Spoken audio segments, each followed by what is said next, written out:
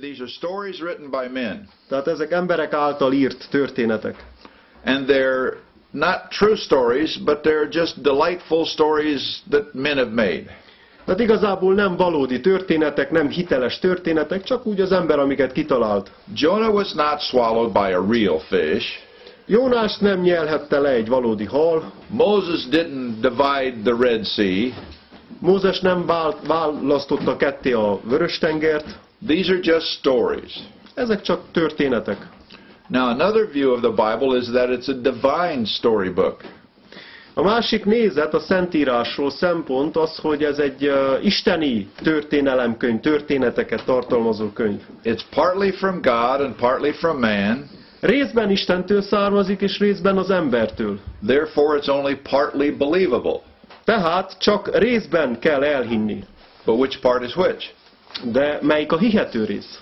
The third view is a view that's very, very popular in psychological circles. A harmadik nézőpont az nagyon népszerű a pszichológia területén, And I should have said Christian psychology. a keresztény pszichológia területén. And this is that it's volume one of a three volume source of truth.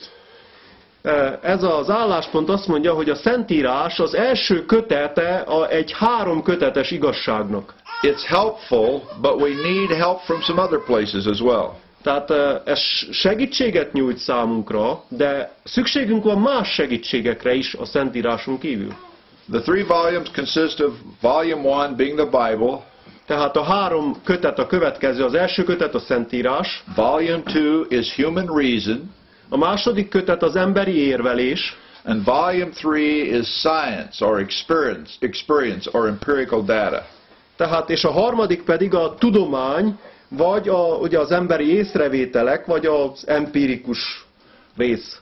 This third view is the view of those who want to integra- integrate psychology and theology. Ez a, ha- ezt a harmadik nézetet azok vallják, akik egy, össze akarják egyeztetni a teológiát a pszichológiával. They say all truth is God's truth, Minden igazság Isten igazsága, and therefore we need the truths from science to help us deal with people's problems. Ezért szükségünk van a tudomány által biztosított igazságra, hogy ö, szembe tudjunk nézni az emberek problémáival. Now I'll talk about that more later on. Majd később beszélünk erről. Now the fourth view is that the Bible is the authoritative word of God from the Creator. És a negyedik ö, szempont, nézőpont az, hogy a Szentírás az egyedül autoritással bíró ö, könyv vagy utasítás, ami Istentől származik. It's not from mankind. Nem embertől származik. I like to look at this book as from the Creator of mankind. Tehát szeretném, hogy mindenki úgy tekintsen erre a könyvre, mint ami a teremtő Istentől származik, tehát az embert is teremtő Istentől.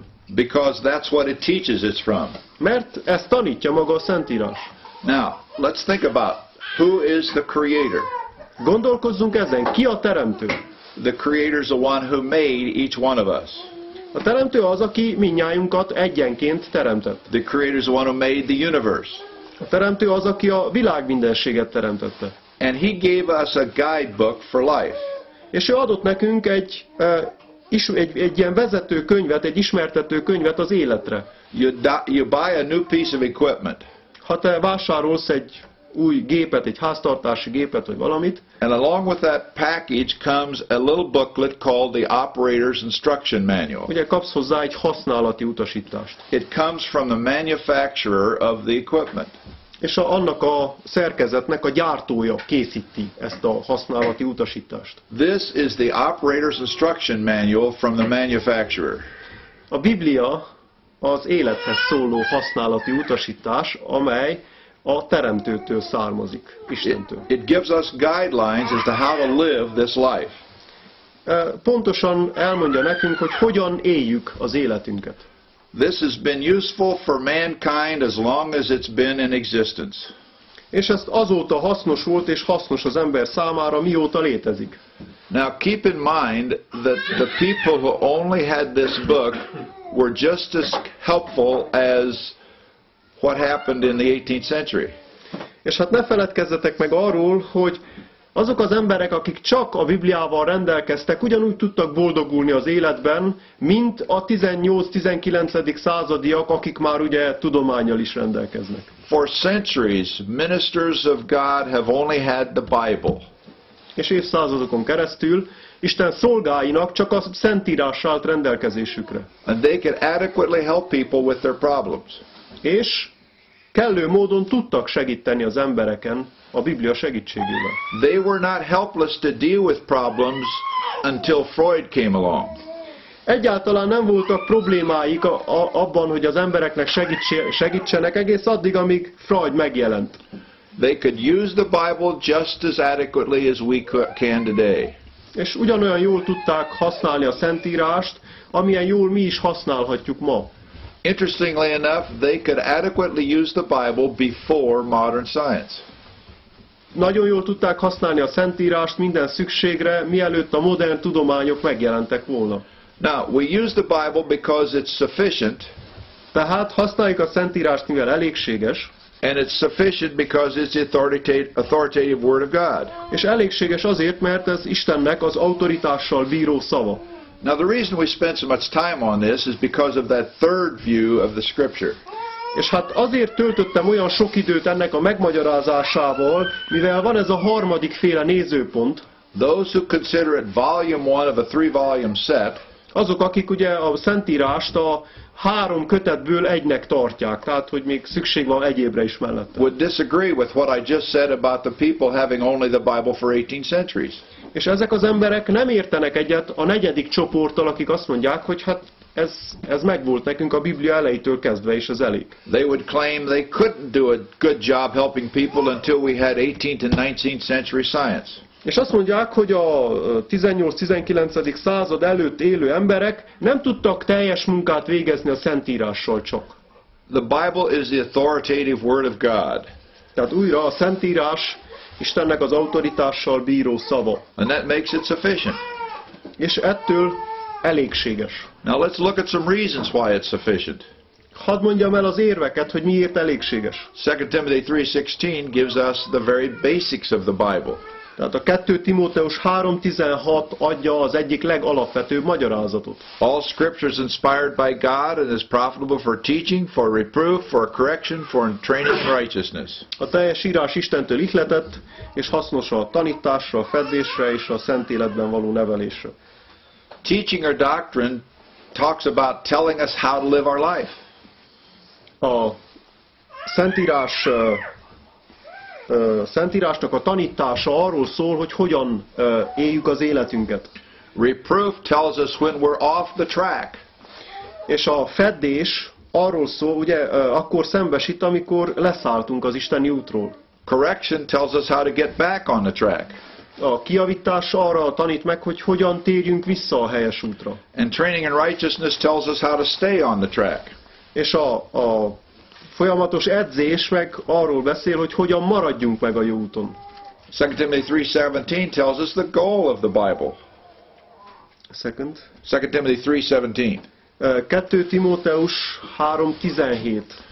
It says that the man of God may be adequate, adequately equipped for every good work. Megmagyarázza a szükséget, ugye azért, tehát azért jó az Isten igéje, hogy az Isten embere legyen kellőképpen felszerelt. 30, thoroughly or adequately means able to meet all demands or needs. És ez a mondat azt jelenti az, hogy kellőképpen, hogy bármilyen, próbá, bármilyen ö, próbával szembesül, bármilyen szembesül, tudja megállni a helyét. Equi- equipped means it's appropriate to any need or emergency. Tehát a felszereltség, a készenlét azt jelenti, hogy bármilyen helyzetben meg tud állni. And it's for every good work, which means to help us with all of life. És ez vonatkozik minden jó munkára, amit az életünkben elvégzünk. So we looked at the basics of the Bible and the goal of the Bible. Tehát megnéztük a Biblia alapjait és a céljait. Now, it's very interesting to look at the broadness of the scope. A broadness of the- Broadness, broadness of the scope of the Bible. How, how broad this Bible is. Tehát, hogy most meg fogjuk nézni, hogy milyen széles területet lefed a Szentírásnak ez a célja, hogy, hogy az életben segítsen. Would you read Rome, or Psalm 19, 7 to 9? 19. Zsoltár 7-8-9-es versét fogom felolvasni. E, olvasok, Sándor, szíves. 19. Zsoltár 7-8-9. Kivetel az ég egyik szélétől, s forgás a másik széléig, és nincs semmi, ami elrejtőzhetnék hevétől. Az Úrnak törvénye tökéletes, megeleveníti a lelket, az Úrnak bizonyságtétele biztos, bölcsé teszi az együgyűt. Az Úrnak rendelései helyesek, megvidámítják a szívet, az Úrnak parancsolata világos, megvilágosítja a szemeket. The law of the Lord is perfect. Isten törvénye tökéletes. Perfect means it's complete, nothing's left out, there's no mistakes. Tökéletes azt jelenti, hogy teljes, nincs hiányosság benne, It, és nincs hiba benne. it revives the soul or totally transforms the entire person. És megeleveníti a lelket, és teljesen átformálja az embert. It's completely capable of doing all that we read in 2 Timothy 3, 16 and 17.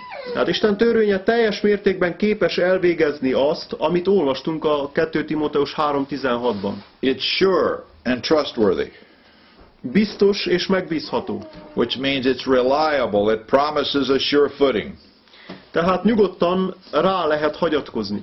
God's word is able to make a simple person wise. Isten igéje képes egy egyszerű embert bölcsé tenni. A simple person is one who is open to anything that comes into their mind and doesn't filter out bad things. És hát amikor egy egyszerű emberről beszélek, egy olyan valakire gondolok, aki nem használ semmiféle szűrőt az ő az őt érő dolgokkal, hanem úgy mindent enged magán keresztül menni. A simple person really doesn't know how to live life. Ez az, az ilyen ember igazából nem tudja, hogy hogy élje az életét. Wise means that this person is skilled in daily living. A bölcs azt jelenti, hogy tudja, hogy hogy élje az életét. God's word tells us how to think and to live. Isten igéje elmondja, hogy hogyan gondolkozzunk és hogyan éljünk. God's word is right and straight. Isten igéje igaz és egyenes. It provides a right path that will not lead us astray. És megmutatja nekünk az egyenes ösvényt, ami nem fog félrevezetni bennünket. It gives joy in the heart and inner delight.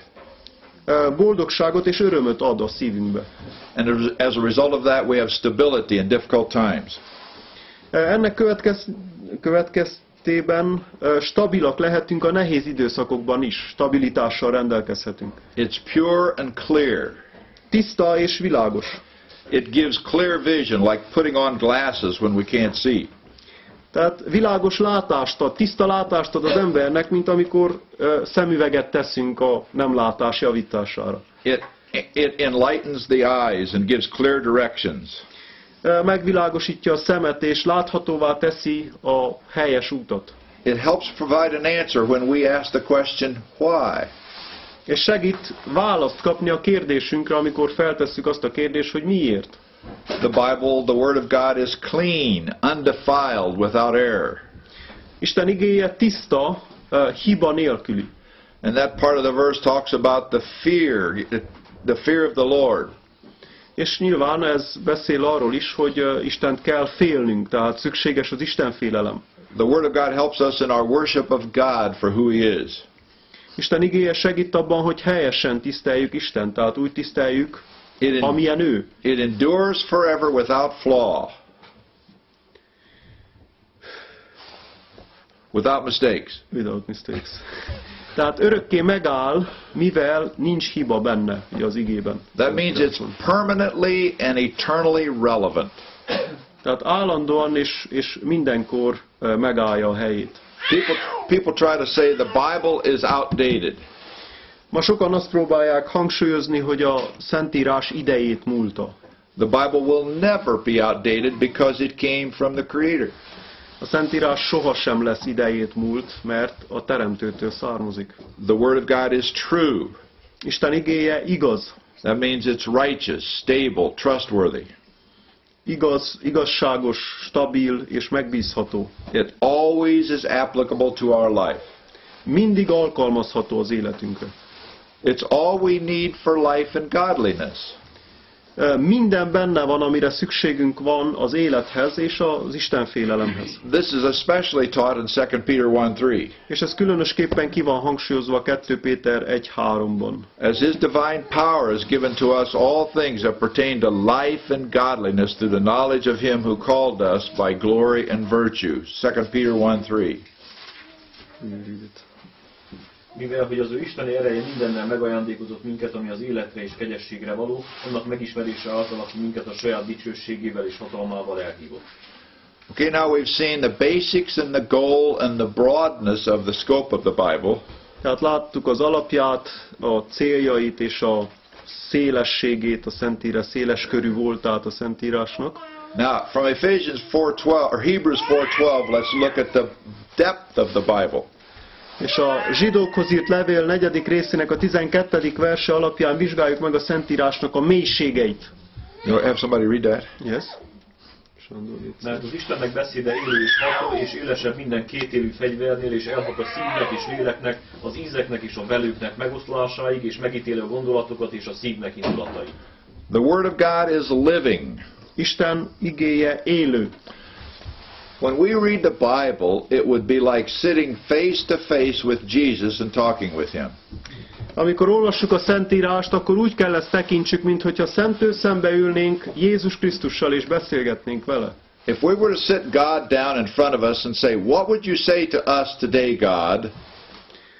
Pont olyan, mintha leülne velünk Isten, velünk szemben, és azt kérdeznénk, hogy Uram, mit akarsz ma mondani nekem? He would say nothing but point to the Bible.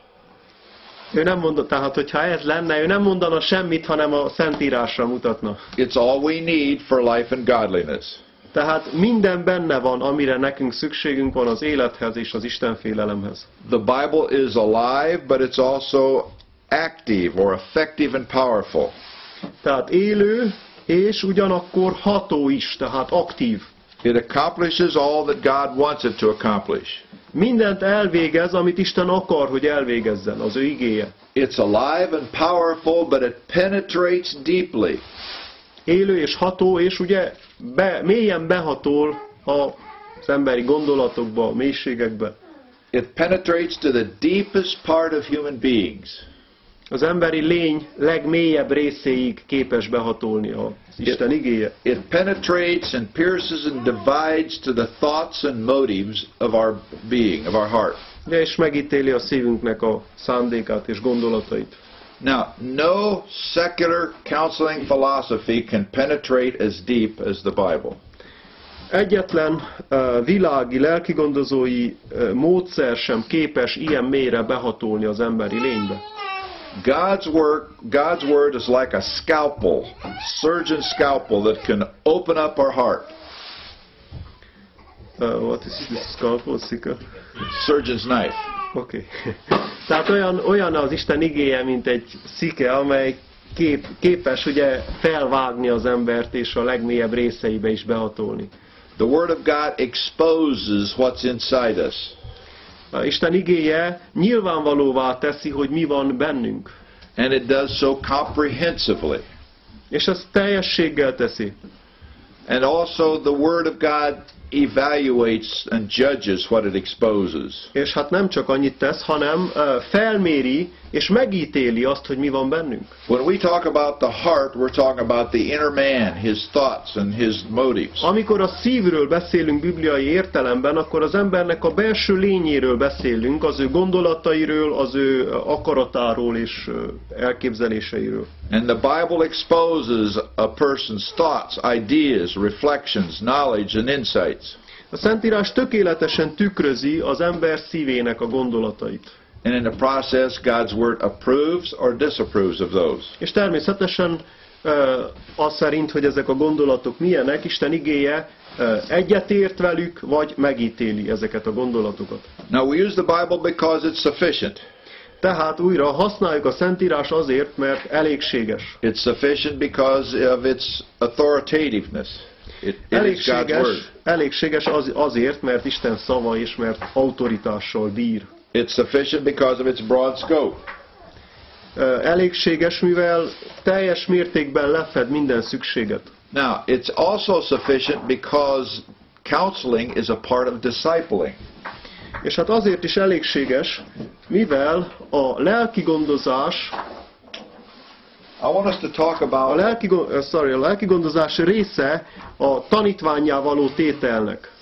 I want us to look at discipling like a river. Tehát szeretném, hogy úgy beszéljünk a tanítvány képzésről, mint egy folyóról. We call that the discipleship river. A tanítvány képzés folyója. Now, what we're talking about are all the normal aspects we do in our church. Tehát ide bele tartozik ö, minden részlet, amit az egyházainkban végzünk a tanítványképzés céljából. Worship services, youth services, Sunday school classes. Istentisztelet, ifjúsági istentisztelet, vasárnapi iskola. Our goal is to get as many people growing and becoming more like Christ. Az a célunk, hogy minél több ember növekedjen a szentségben, hitben, és Krisztushoz egyre hasonlóbb legyen. We want them out in the center of the current where the, where the, where the flow is the strongest. És szeretnénk, hogy ezek az emberek a, az árnak a közepén legyenek lehetőleg, tehát ahol az ár, a sodrás a legerősebb. That's where they benefit from all the ministries of the church. És hát ott, ott, lesz a, a leg, ott lesz részük a legtöbb áldásban. But there's another part of the church ministry that's very important. A, az egyház szolgálatának azonban van egy másik nagyon fontos célja is, And we will call that preparatory discipleship. előkészítő tanítványság. And we can call that evangelism. Tehát tanítványságra való előkészítés, ugye evangélizálás. In other words, it's what we do to bring people into the river. És ennek az a célja, hogy új embereket hozzunk be ebbe a folyóba. We want to be effective in communicating the good news of Christ so people accept Christ and get into the center of the river. És szeretnénk hatékonyak lenni abban, hogy úgy adhassuk át az evangéliumot, hogy ezek az emberek bekapcsolódjanak a folyóba. Now we've got the normal discipleship, Ugye megvan a, a, az állandó tanítványképzés, and then we've the preparatory discipleship. aztán itt van ez az előkészítő tanítványképzés. Now, what happens when somebody gets over to the side, is not growing at the rate they should? És mi történik, ha valaki kisodródik ennek a folyónak a szélére, és ott leülepszik, nem, nem növekszik tovább? What happens if their boat springs a leak that gets a hole in the boat? Mi történik, ha kiukad a csónak, igen. Uh, that translate. That's okay. what what happens if they get stuck? Mi történik, hogyha felakad ugye a csónak, tehát megfeneklik? What happens if a person's not profiting from the normal discipleship? Mi lesz, hogyha egy személy nem, ö, nem jut hozzá a szükséges áldásokhoz, amit az egyház biztosít? That's where we have a wide place in the river, Ez, ahol ugye folyónak van egy szélesebb szakasza, and we move over to the side for a while, tehát egy ilyen kis öb, öböl, és oda kivisszük ezeket az embereket az öbölbe, and we spend time helping them with that special problem. és különös, tehát több időt töltünk velük, hogy a problémájukat megoldjuk, segítsünk nekik. It's a place where we help them with that problem that's slowing them down. Tehát egy olyan hely, ahol le lehet lassulni, és hát át lehet nézni a problémákat, és segíteni nekik. We could call it remedial or concentrated discipleship. És ez a tanítványság visszaállítása, helyreállítása, vagy arra való koncentrálásnak nevezzük. It's not something new or something unusual. Nem új, vagy nem valami ö, szokatlan dolog ez, It's just concentrated discipling on a particular problem. Hanem ez egy, egy problémára koncentráló lelki gondozás. We use the same Bible the same theology, it's just more concentrated. Ugyanazt a teológiát és ugyanazt a szentírást használjuk ehhez a munkához is. We use the same Bible the same theology, it's just more specific to that particular problem. Ugyanazt a szentírást és Bibliát használjuk, csak ugye arra a specifikus helyzetre alkalmazzuk. It's also temporary because we want to get them back in the river as soon as possible. És ebbe az öbölbe való tartózkodás csak időszakos kell legyen, mert azt szeretnénk, hogy visszasegítsük őket a folyó sodrásába, és haladjanak tovább előre. This is a part of the discipleship river. Tehát ez egy része a tanítványképzés folyójának. It's not a ministry separate from discipleship any more than evangelism is. És nem, nem elhatárolandó a, az általános tanítványképzéstől és az evangélizálástól. Now let me illustrate this way. Hadd uh, magyarázzam el így. Somebody has come to know the Lord and you're discipling that person. Tehát valaki megismerte az Urat, megtért, és hát tanítod, táplálod azt. And you find that here's a man who has trouble with anger. És itt észreveszed, hogy van egy ember, akinek problémája van a haraggal. And it's causing great, great difficulties in his family.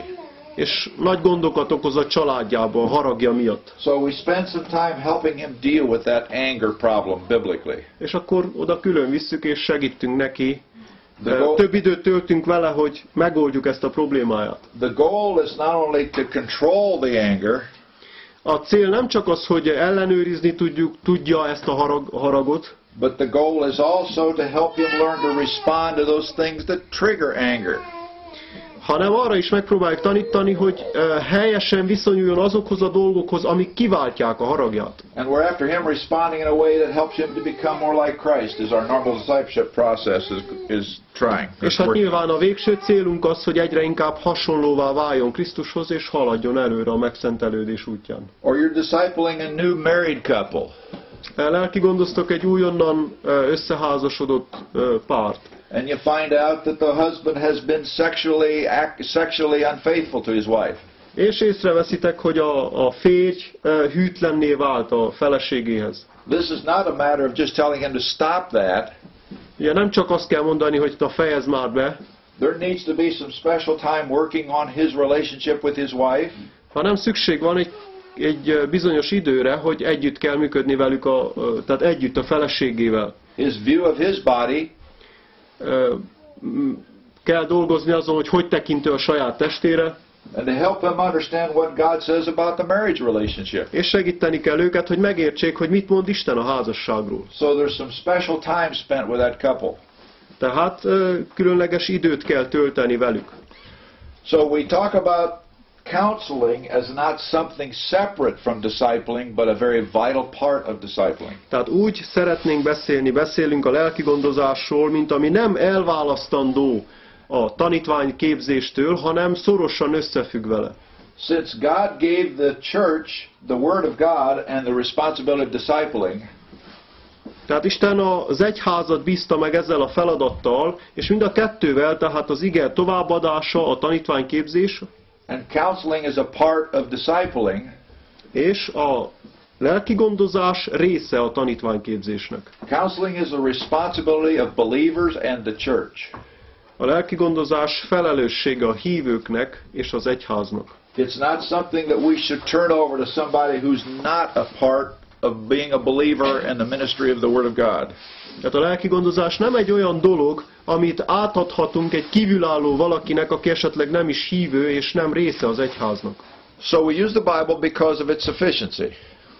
Azért használjuk a Szentírást, mert elégséges. Another reason we use the Bible is because it's so descriptive of the nature of human problems.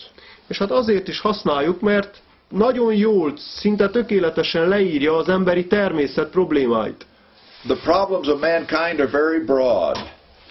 Az embernek a problémái nagyon-nagyon széleskörűek. But James has helped us to narrow down the understanding of those problems.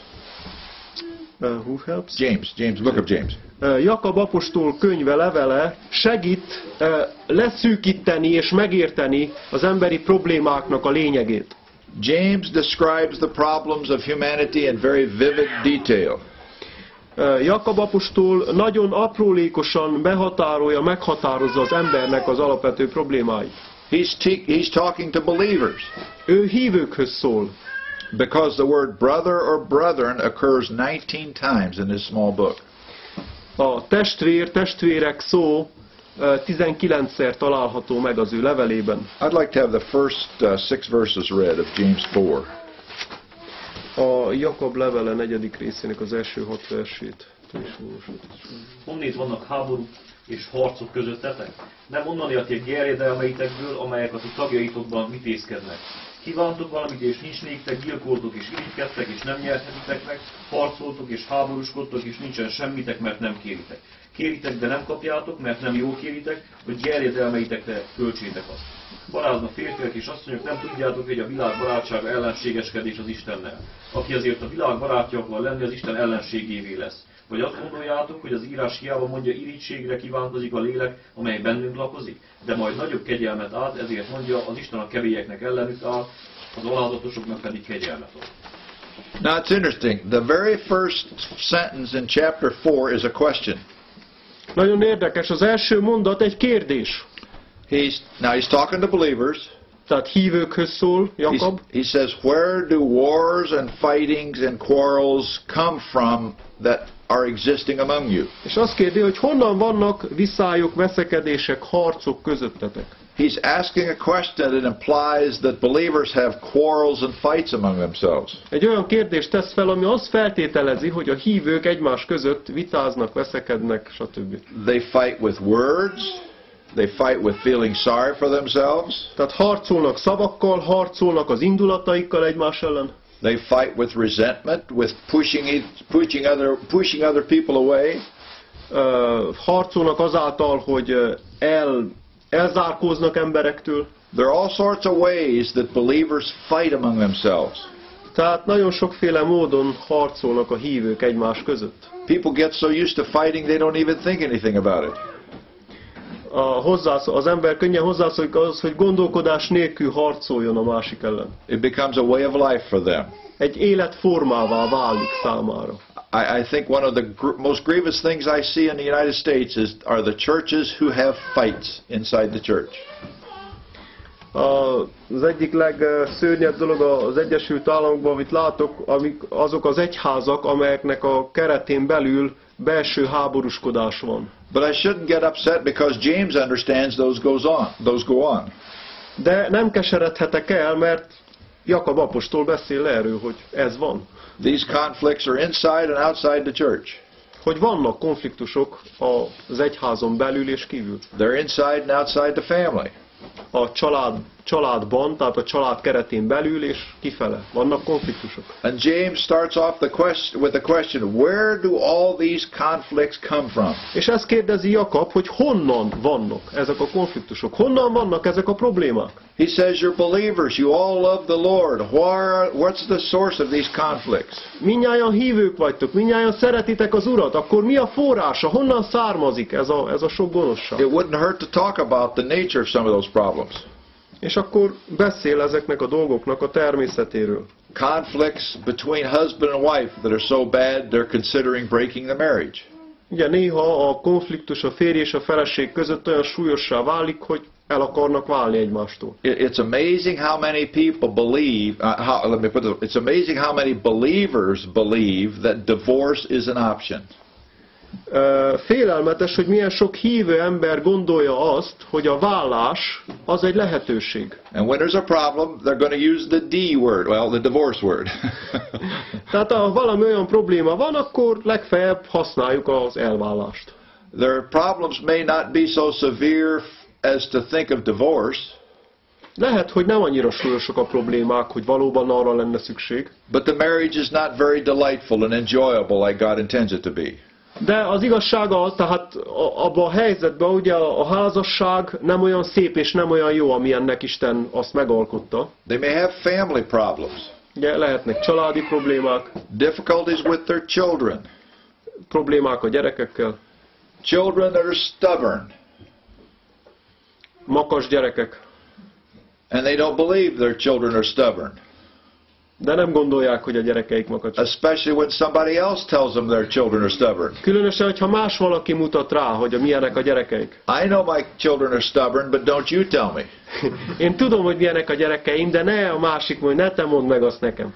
When I see it, they're perseverant. Persevering.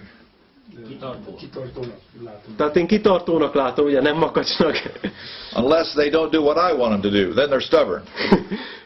Addig, amíg nem azt csinálják, amit én akarok. Hogy ha nem azt csinálják, akkor már makacsok. we see brothers and sisters fighting with each other. És hát ugye látunk ö, keresztény testvéreket They harcolni egymással. they fight when they're little, Ja, bocsánat, tehát látunk testvéreket, családon gyerekeket, mint testvéreket harcolni egymás ellen. but they still don't have harmony as adults. És mikor felnövekednek, sincs harmónia közöttük. And they're believers. És állítólag hívők. Now, I suppose that's only the United States. I suppose what I've talked about never happens in Hungary and Romania.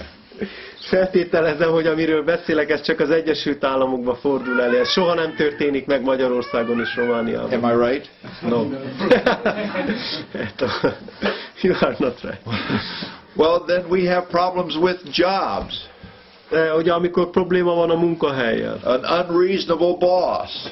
egy kibírhatatlan főnökkel, Or lazy, irresponsible employees I have to work with. vagy egy másik munkatársal, aki lusta és semmit nem akar megcsinálni rendesen. Or problems in the church. Problémák az egyházban, a gyülekezetben. People trying to tell the leaders of the church how to run the church. Amikor az emberek próbálják megmondani a vezetőknek, hogy hogy kell vezetni az egyházat. People in the church who refuse to talk to each other because they have a conflict. Emberek, akik ö, megtagadják azt, hogy egymással beszélgessenek, mert konfliktus van közöttük. And the conflict may be over a personal preference that has no biblical foundation whatsoever. És néha ezek a konfliktusok lehet, hogy olyan területekről származnak, aminek abszolút nincs biblia alapja. Now again, those things happen only in the United States, I assume, and not here. És hát feltételezem újra, hogy ezek csak az Egyesült Államokban Is történnek. that right? No. That happens here? It happens. Really? Really? I thought that was only a United States problem. Tehát azt gondolt, hogy ezek csak az államokban fordulnak elő. And then there's general problems with life. És hát vannak az általános problémák az élettel kapcsolatban. You run out of money before you run out of expenses. Sokkal hamarabb elfogy a pénzed, mint sem a költségeid. And the neighbors are noisy and junk collectors. És hát a szomszédok hangosak, és, és néha, mit tudom, szemetet gyűjtenek és zavarnak. The wars and conflicts are, the list of wars and conflicts are as big as the number of people involved.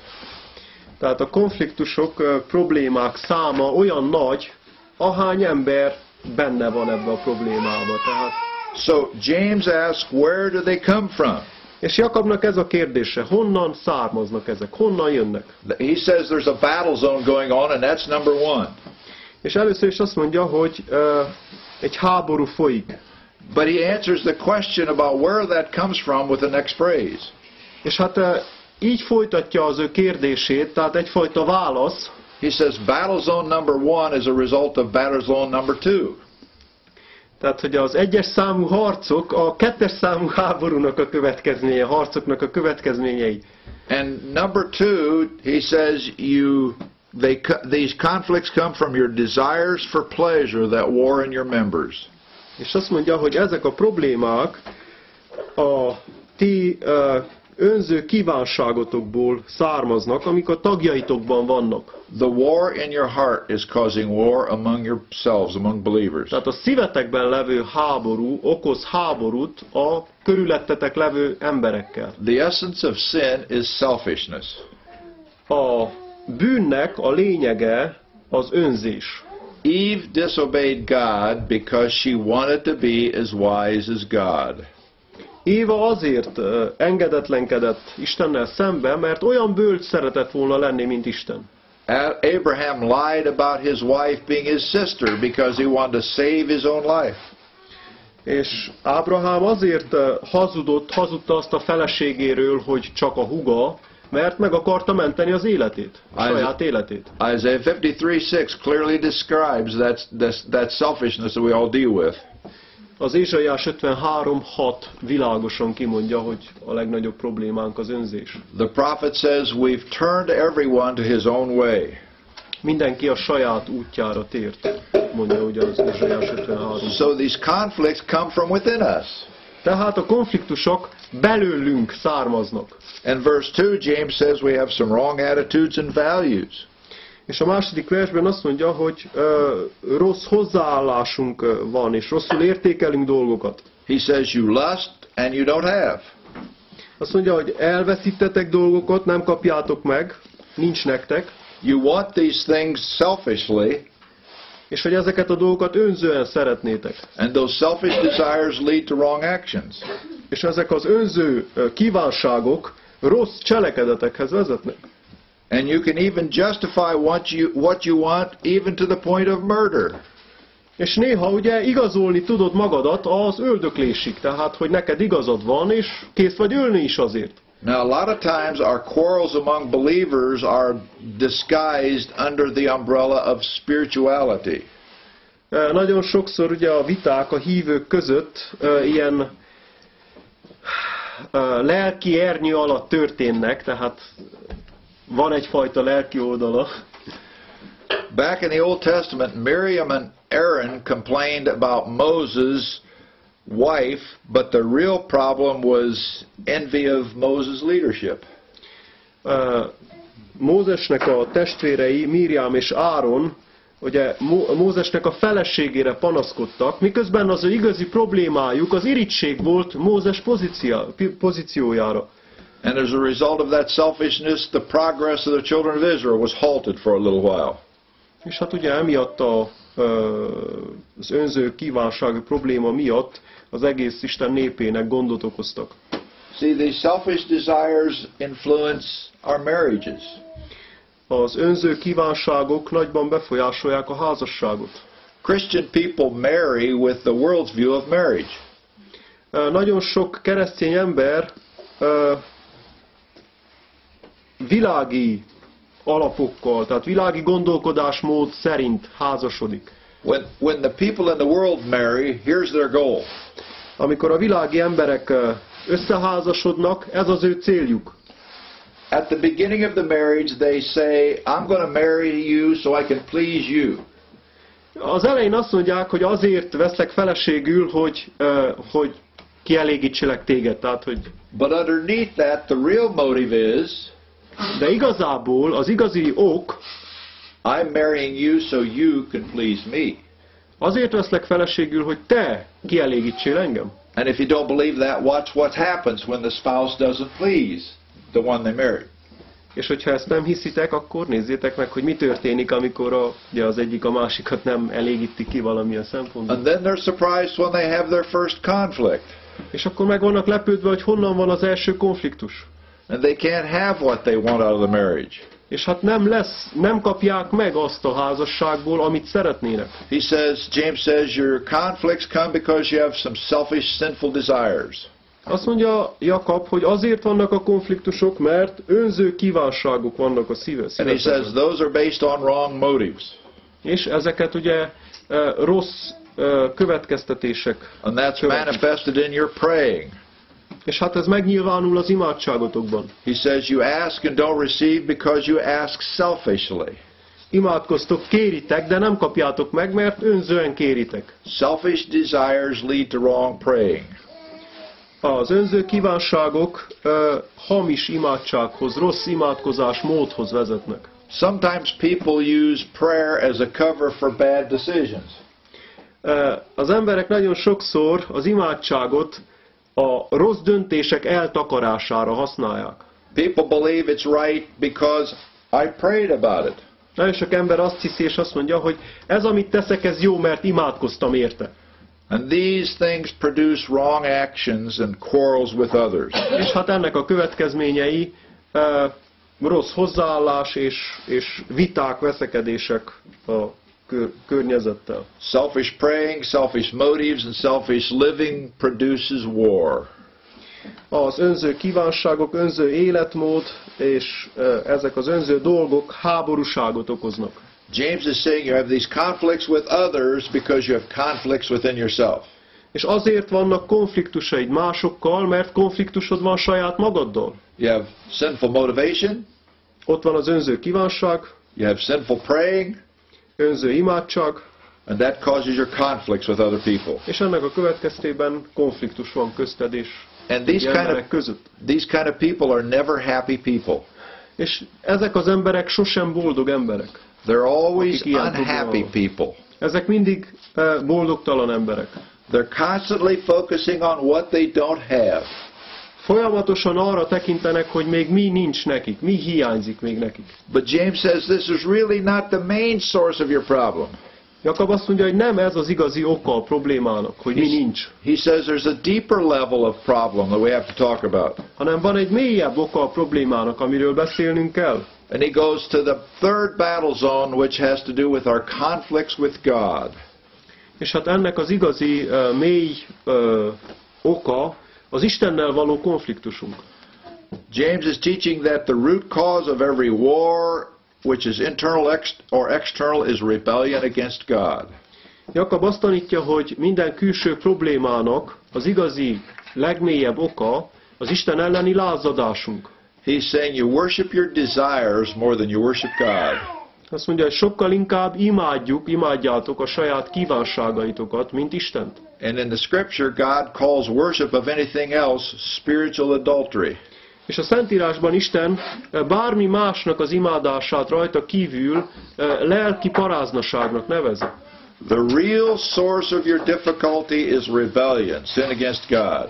Tehát a problémáinknak a legmélyebb gyökereje az Isten elleni lázadás. The real cause of all our conflicts is personal rebellion against God. Tehát mindenféle konfliktusunknak az okozója a személyes lázadás Isten ellen. You might say, wait a minute, that person started the problem. És erre talán azt mondod, hogy ó, állj meg egy pillanatra, a másik kezdte. And if you were responding the way God wanted you to be, there'd be no conflict. És erre az a válaszom, hogy ha te úgy válaszoltál volna neki, akkor ahogy Isten akarja, akkor nem lenne konfliktus. You might not like what's happening, but you would respond biblically. Lehet, hogy nem tetszene neked az, ahogy történik, vagy ami történt, de te biblikusan válaszolsz vissza. And you would see that God is using that problem to help you in the river of life to become more like Christ. És meglátnád azt, hogy Isten használja ezeket a próbákat, amiket megenged, hogy tanítson téged minél inkább be uh, alkalmazkodni a, And what counseling and what counseling is doing is working on those three areas that James talks about. És a lelki gondozás erről beszél, ami ott a, uh, tehát amiről Jakab beszél, az, ami a lelki gondozás alatt történik, ez a három dolog. But remember, the root cause of all of our difficulties are based on our wrong relationship with God. Tehát amit nagyon-nagyon meg kell jegyezzünk, hogy az igazi gyökér az Istennel való rossz kapcsolatunk, helytelen kapcsolatunk. Now, I'm not saying by wrong relationship we're not believers, we're talking to believers. Tehát eh, tévedés ne essék, nem hitetlenekről beszélek, hívőkről beszélek. And the goal is to get believers back into the middle of the river of discipleship of life. És a cél az, hogy a, ezeket a hívőket, problémákkal küzdő hívőket valahogy visszavigyük oda az ár közepére, ahol egészséges módon halad előre a tanítványságban való képzés. If you're going to provide permanent help for people in their problems with life, Tehát, hogyha szeretnénk folyamatos segítséget nyújtani az, e- az embereknek az ő problémáikba, if you're going to provide significant help with the problems of life, hogyha szeretnénk ö, e, ö, komoly segítséget nyújtani, and when we say help with those problems, that means help with handling those problems. és ugye itt a segítség az a, arról szól, hogy kezeljük a felmerülő problémákat, The place to begin is in their relationship with God. mindig az Istennel való kapcsolattal kell kezdeni. James has been very careful in describing the source of our problems. Ö, Jakab nagyon ö, alapos volt, amikor leírta a problémánk gyökerét. And also he's been very candid, Candid? honest. Honest. Őszinte, becsületes, amikor leírta. And he, he takes the broad scope of problems of humanity Tehát először is beszélt az emberiségnek a nagyon-nagyon széles körű problémáiról, and he narrows them down to problems with others, self, and God.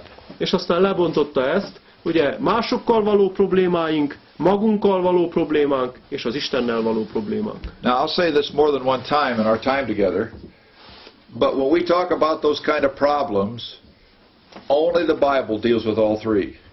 És hát még egyszer szeretném ezt kihangsúlyozni és mondani, hogy egyedül a Szentírás foglalkozik mindezzel a három problémakörrel. Psychology will help deal with problems with others and self, A pszichológia segíthet abban, hogy kezeld a másokkal és magaddal való problémáid, but they don't know what to do with problems that grow out of our relationship with God.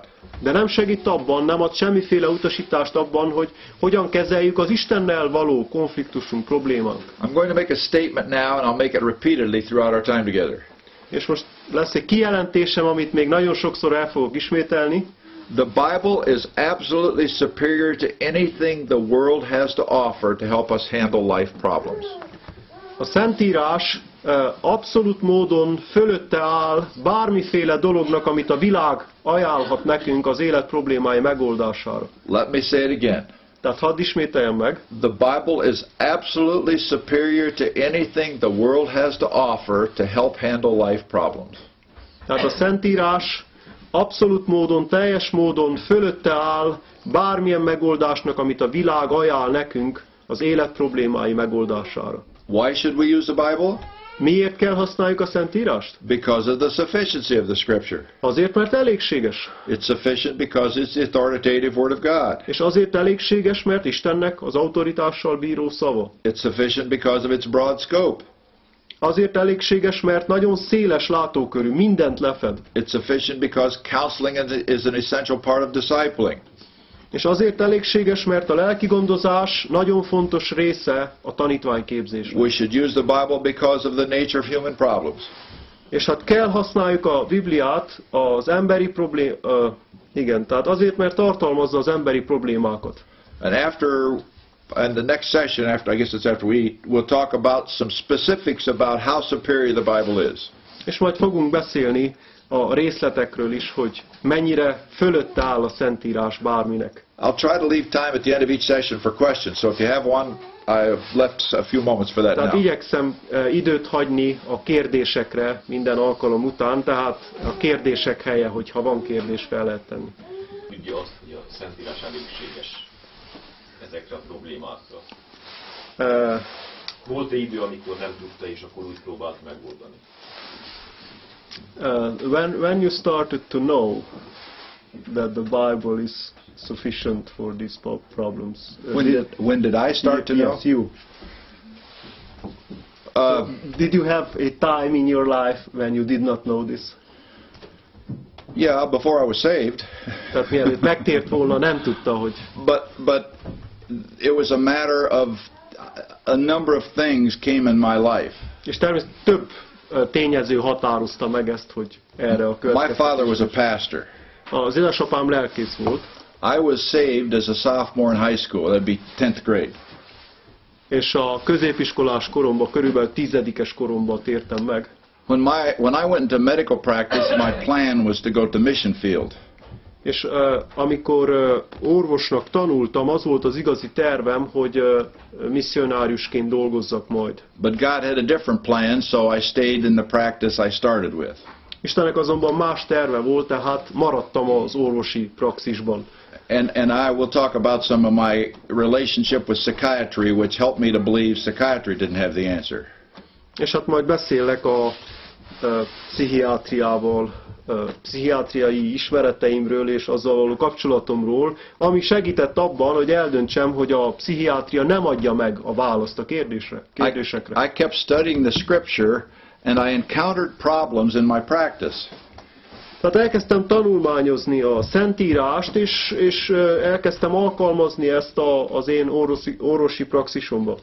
I saw people having symptoms under certain circumstances, and I couldn't figure out why. Tehát olyan, olyan uh, szimptomákkal találkoztam, amiket nem tudtam megmagyarázni, hogy miért vannak.